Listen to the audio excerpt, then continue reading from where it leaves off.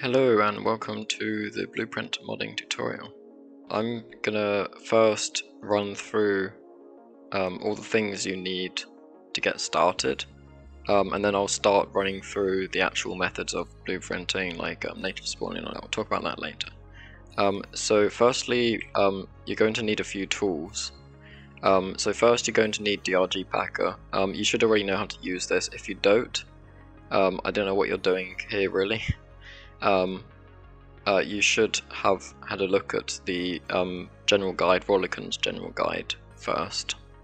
Um, and then also an asset editor like Asset Editor, um, UAsset GUI, DRG Parser, Meta Editor. I don't know if those last two will work uh, for you anymore, um, but but the first two, uh, so Asset Editor and UAsset GUI, I'll put links in the description um, you should know how to use one of those. Um, you will need an IDE, so this can be Visual Studio, this can be Rider from Unreal Engine. Um, I recommend this version, um, this this IDE, because it's made for Unreal Engine, as you can tell from the title. Um, and it's free, at this current point at least. Um, and I'll put a link in the description to the survey you have to complete to get the access to the free license. Um, don't get confused between Rider from Unreal Engine and Rider. They're two different things, sort of. Um, and then CLion is another one that, that I use. Um, and then a code editor to look to look at the dumps. So this could be Visual Studio Code, Notepad++, um, or any of the IDEs that, that are above. So I use Rider from Unreal Engine for my IDE, and then CLion for looking at the, the dumps. CLion is C++ and C sort of stuff. Um, you also will need the actual dumps. Um, again, link will be in the description to the GitHub repository. Uh, look at the most recent dumps. Um, so at the time of recording, it's the mod.io experimental update. So update 34.5 is the name for it. Um, so I'd be using those ones. And then also um, the current version that Unreal Engine is on.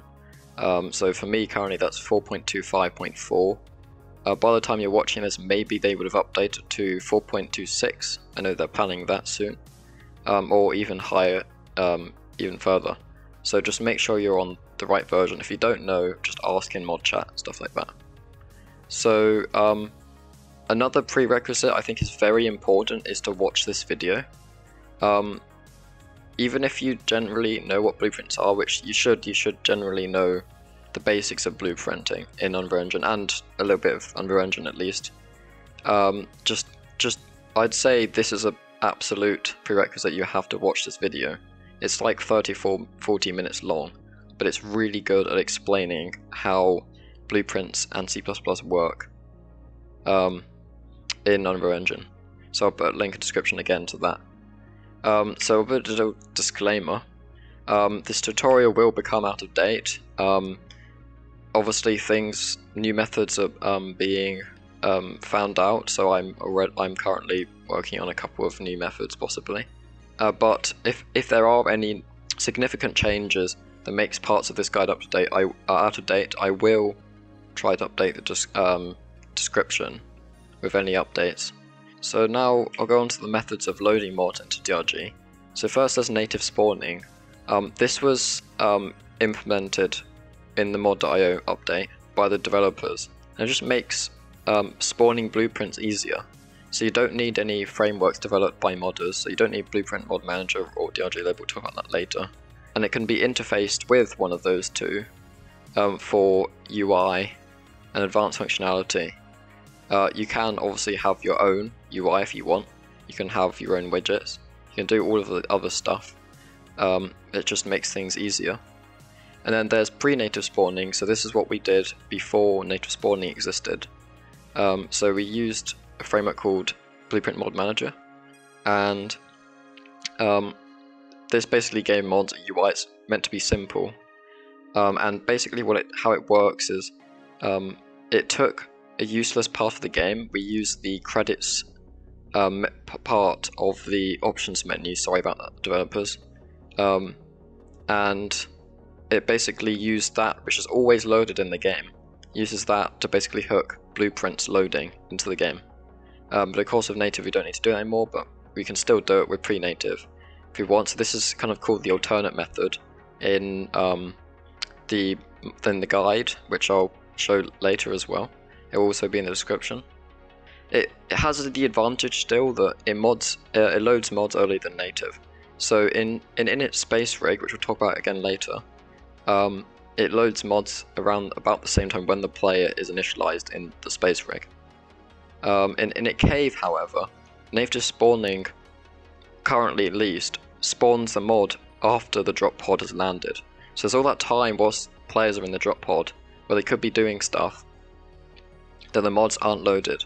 Um, in uh, pre-native spawning, it's um, the mod is loaded right as the players are initialized in the drop pod, um, which can be advantage. So there's a there's a mod I'm working on currently which would have a problem if it was native spawning because it needs to track stuff that the player is doing possibly inside the inside the drop pod whilst it's going down.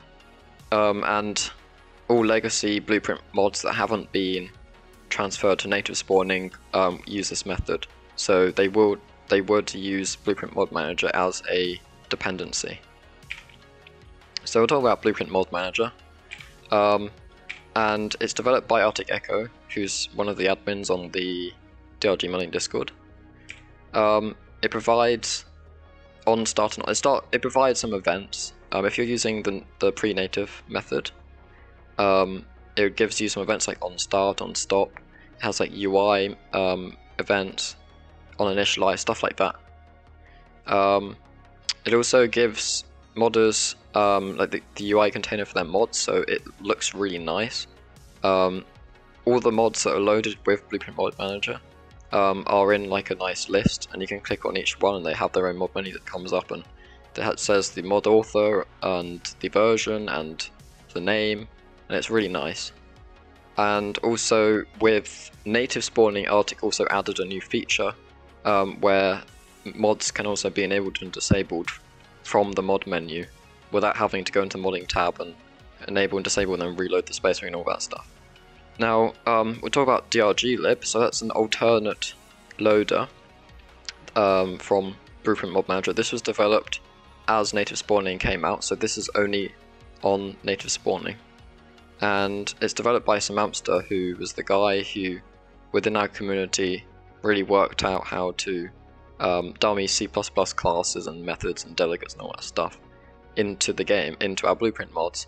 Again, we'll talk about this later, but this was an absolute game changer for that for us. This really, and it, it turns out that like you know, obviously other games had discovered this previously, but we weren't aware of that.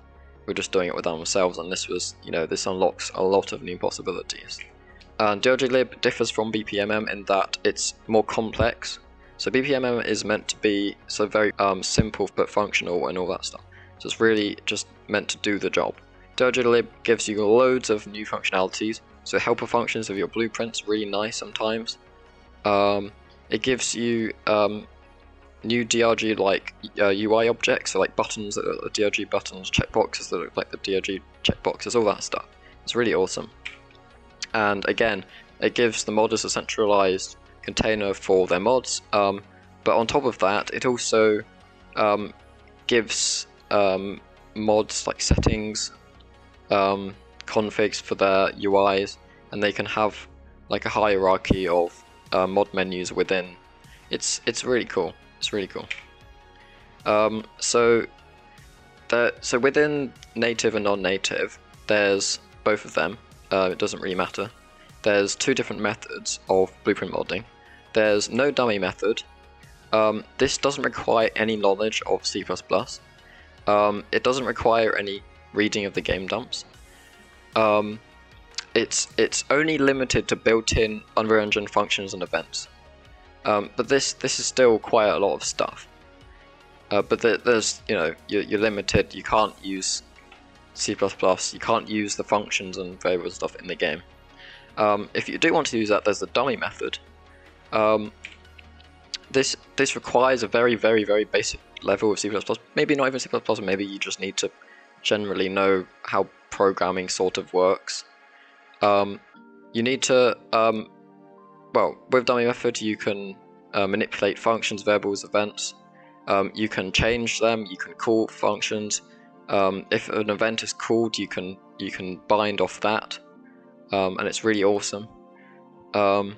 And then uh, you, you can uh, use the reflected header dumps to find the relevant classes. So if I want to find the Bosco class and I want to self-destruct him or something, we'll go over that in a, in a later example. Um, you can you can look in the dumps for that, and then you can dummy the right blueprint or class or whatever, and then just tell it to uh, basically access that function from your blueprint, and it's all good. Um, and then within dummy method, there's two sub methods. There's writing the actual dummy C++ classes, um, and creating dummy blueprints. Um, so we'll, again, we'll go over those in two separate examples. And there's a few useful acronyms to know. I'll just kind of list them here. Um, there is a much longer list in the general guide for like everything, as far as I'm aware. Um, but yeah, there's some useful things here, and you know, obviously blueprint stands for blueprint. but yeah, um, and now um, next I'll show you how to set up your Unreal Engine workspace, um, and then I'll get on to like actually making your mods. So I'll just show you how you set up your project because it's very important one part. So I got all of these projects with my previous ones. Um, so if you want to create a project, what you do is you set games next.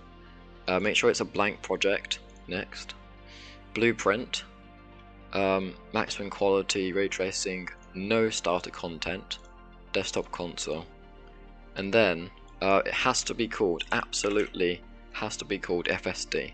Um, now this is the the game's, the original game's probably code name or something, I'm not really sure what it stands for, um, but many games have these various reasons. So I'm just going to select where I want it, uh, so I, I want it in here because this is my sort of this, this video tutorial thing. So this is where this project will be. You can move it or whatever afterwards.